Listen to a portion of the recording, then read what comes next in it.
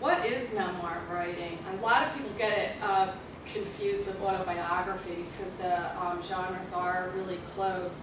If you think of autobiography as really the parent and memoir the child, memoir is more a slice of life where autobiography is from cradle to grave. So a lot of people uh, write their autobiographies. They really research it. They do a lot of fact checking. Um, they use a lot of documents in general to create the piece. Where in memoir writing, it goes the full gambit. As I learned on this project, I had no idea. I thought memoirs were more narrative, long form genre. And I was really surprised to find out how many different styles there were. Um, I read everyone, as Gary was mentioning, quite a range of people. I don't even have all the examples here. I um, did 12 memoirs, actually, my contextual analysis. Everyone from David Douglas Duncan, who was a photojournalist for Life magazine and National Geographic. He's uh, over three decades of photojournalism. I studied his memoir. Um, Eminem, I mean, that was a great find. Um, Laurie Notaro, as many of you have heard about, all comedic writing. And uh, one of the big surprises, too, was uh, Jamie Lee Curtis wrote a memoir of which she's four years old. So I never thought about, again, memoir as a children's book. So it was really a nice surprise to find out how many different styles that went from diary style, investigative, short stories, scrapbook, journalism, journalistic style. Um, one of the uh, really, I think, challenging things in memoir is, is whether, how much fact to put in and how much can they fictionalize. If you think of it as a continuum, with the factual writing on one end and completely made up versions on the other end, like Margaret Seltzer um, did, where she completely made up everything. Um, I think most memoirs pretty much fall in the middle. Some more, probably heavier on the uh, autobiographical side of the fact-checking. Um, I think what really brought the fact or fiction component into everyone's awareness was the scandal over James Frey's A Million Little Pieces. That received so much media attention, and I think that's when people started questioning, well, wait a minute, are we verifying these truths? Are we looking at it as a story? Or are we looking at it as, you know, a real journalistic account? And there was so much controversy over his piece that a lot of other writers started questioning, you know, how much is allowed and how much isn't allowed. And I think the final kind of conclusion to all that was something that William Zinsser said, um, that he feels it's about the intention. And I think that really goes hand in hand. If you intentionally write a piece of fiction, market it as memoir, that I think is totally unethical. Where if you write a piece and you're using, you're changing people's names or maybe what they wore or you're remembering, well, let me say it was a spring day, you know, when you know, well, maybe it was really the end of May. Um, and you're using creative license, I think that's another thing. Some people put disclaimers in their books, other ones don't. Some people feel the reader should be able to judge what is truth and what isn't truth. Or I know when I read A Million Little Pieces, I kept thinking, how could this guy have done all these things in one month? I mean, he was supposed to be in a 28-day program.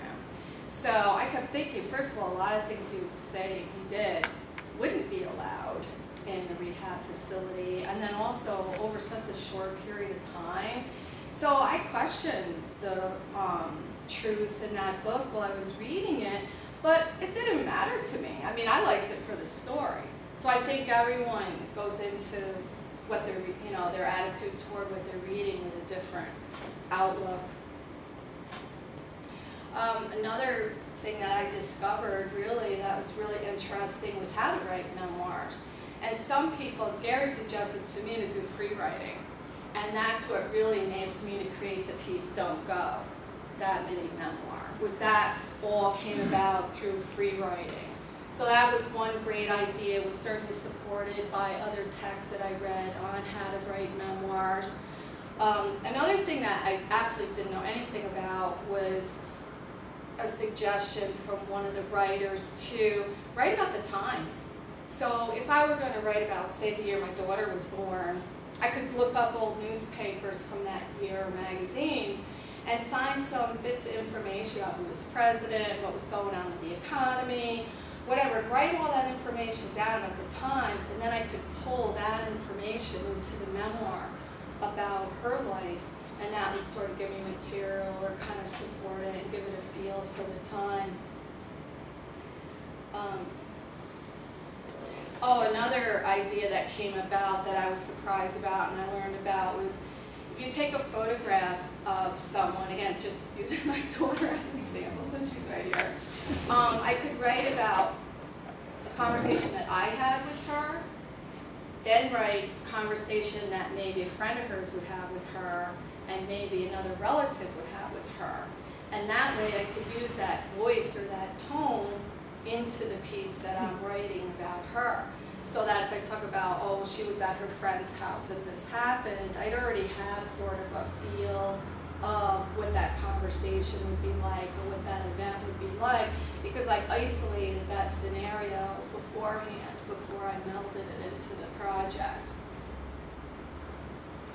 Um, getting into my project, after I studied so much about other people's writings, which I was really pleasantly surprised to see so many styles. That was the biggest thing. Um, so I started getting into my writing, and the first thing I did was draw from course assignments and things that happened during the school year, because as a few of you know, I did write some other stories that weren't assignments, but they were a reflection of what was happening while I was here. And I started putting those together, and I know it was Rebecca that I first started thinking about the title, Rabies and Honey. And um, that's a collection of short stories. I think the thing I really uh, would do differently with this book is to make them all the same theme. Most of them are humorous, so you know, kind of have a comedic flair to them. I think that's what I would do is either make them all humorous or all really like emotional, emotion-driven kind of pieces, or have all similar theme. Because if you look at books, say, like Laurie Notaro, hers are all funny. Or Chelsea Handler's, they're all really funny. So I could see doing that with Rabies and Honey and really kind of uniting that where I have more of a, I call it patchwork of memoirs because that's what it is. It's really a sampler of various styles. And because I did have a sampler of various styles in there, some of the way I formatted the text changes from story to story.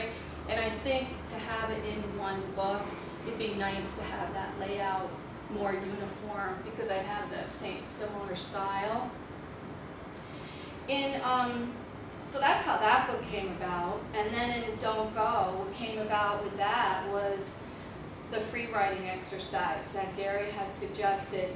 And I just start sat down, you know, my house Saturday morning, just started typing, typing, typing. And after doing that, really only a couple of times for like say good 10 hour blocks of time each, I just started reworking it. And I just started moving things around. So I wasn't actually doing that initial writing, it was more about revision. And I just continually moved things around and started to meld things together. And one thing that I would do differently with that book is um, my intention was to challenge myself to see if I could write one long narrative. Just one really long continuous piece, which I never thought I could do. I was like, how can I do that? I have no idea.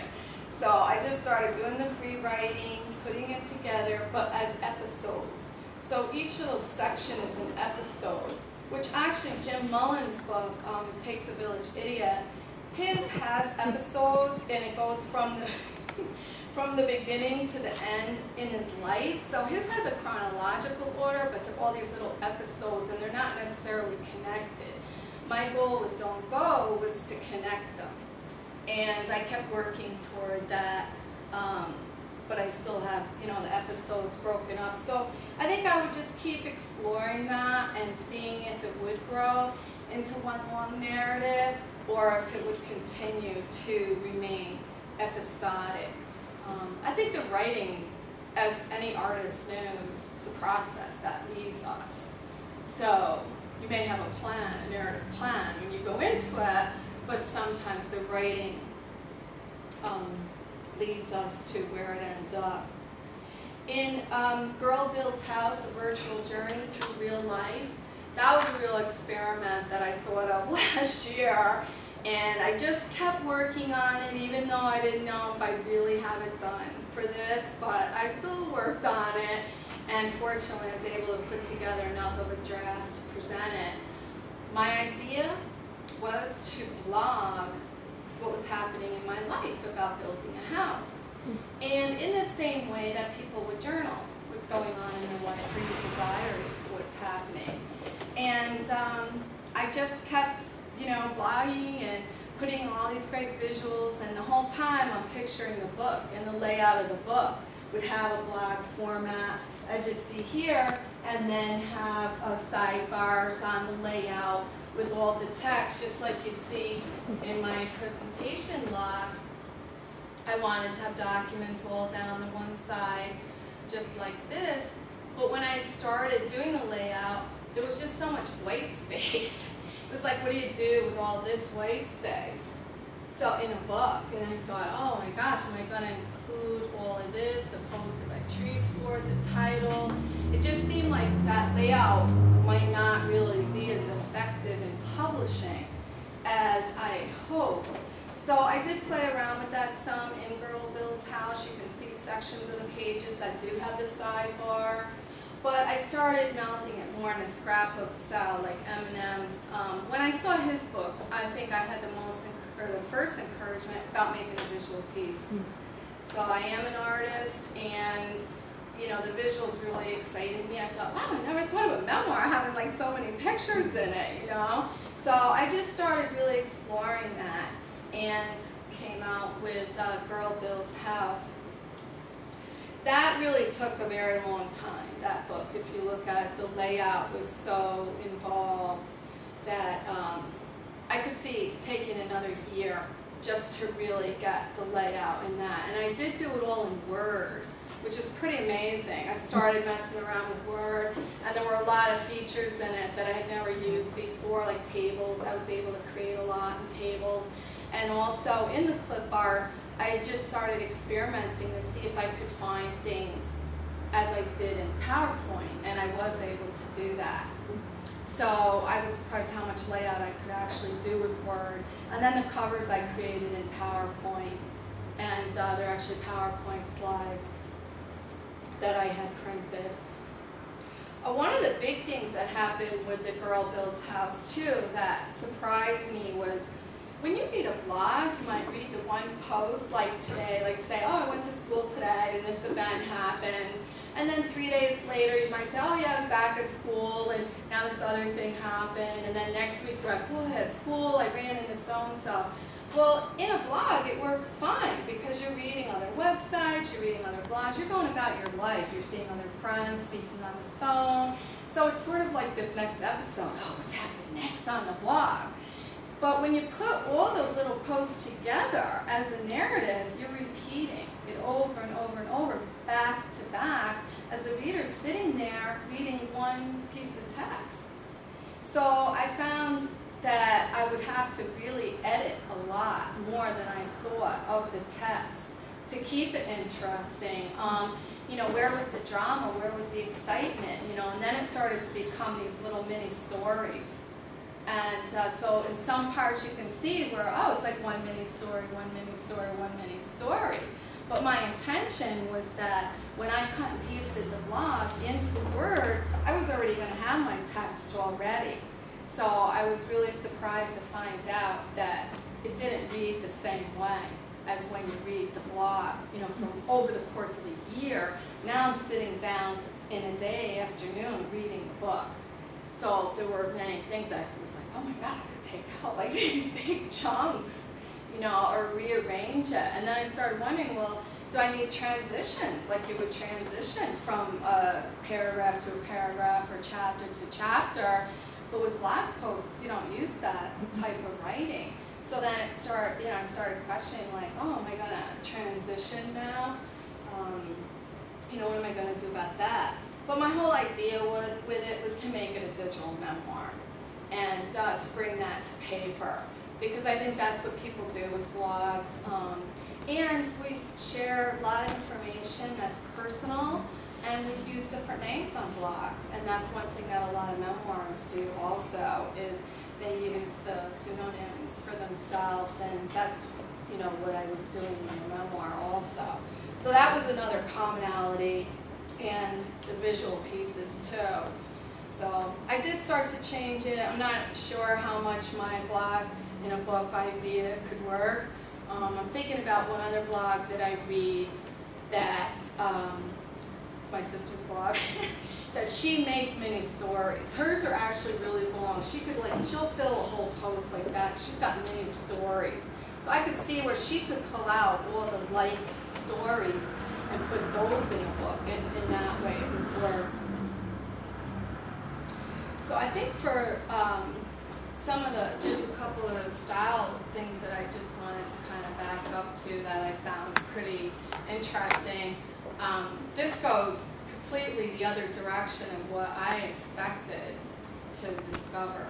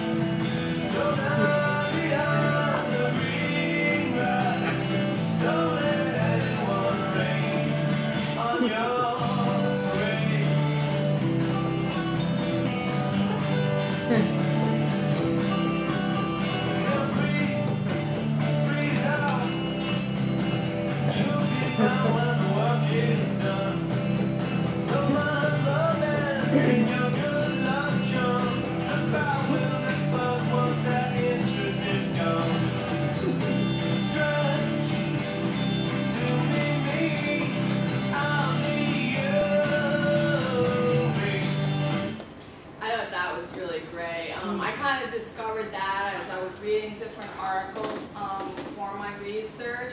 It talked about this book, Six Word Memoirs, and I was like, what the heck is that? So when I read the book, um, you know, further reading, I discovered there was the website also, and it highlights um, all the different six, or not all, but some of the six word memoirs that were in the book. So that was really the far end of what you can find out in reading memoirs, um, all the different styles. I'm kind of backing up a little just because I want to show you this one other piece. When we think about um, writing the memoir, I'm thinking about having a narrative plan. Um, it looks as though the six-word memoir people, their narrative plan was to reach out to others and receive in six-word memoirs. But for David Carr, he discusses his narrative plan on his video. My name is David Carr, and I've written a book called The Night of the Gun, a reporter investigates darkest stories like his own. My story is charming or horrifying, depending on which part of it you focused on. If I told you that I was a drug addict who sobered up, got custody of his kids, got them off welfare, survived cancer, and went on to become a columnist for the New York Times, would you like my story? You bet. What if I told you I was a fat bum, sold drugs, beat up women, terrorized children, and maybe not so much? How'd that really happen? How did that guy become this guy? Junkies, as a matter of course, they don't put things in boxes, they wear them on their head. The stories that we tell about ourselves are designed to sort of reveal a part of ourselves to the world. It's the part we want to show. What I learned from two years of reporting, investigation, and writing is that you can't know the whole truth. But if there is one, it lies in the space between people. I just thought that was a beautiful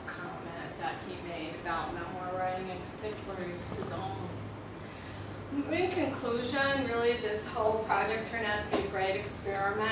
You know, I thought I was, I knew what I was going in for when I started it, and I was so excited with all the um, interesting things that surprised me along that journey. And I recommend memoir write or reading actually to everyone because there's so many different styles that if you like, you know, children's book, just really illustrated, simple, quick memoir reading. There's Jamie Lee Curtis's. You know, she probably has a hundred words in the whole book about her four-year-old memoir. Like comedy, Chelsea Handler, and then if you want something, you know, that's much more serious, there's Night of the Gun. Or someone actually, uh, Eminem's is actually really a fact-check type memoir, surprisingly, because there are a lot of documents in there, and because he is well-known, um, the information about his life is so public. So I encourage all of you to read memoirs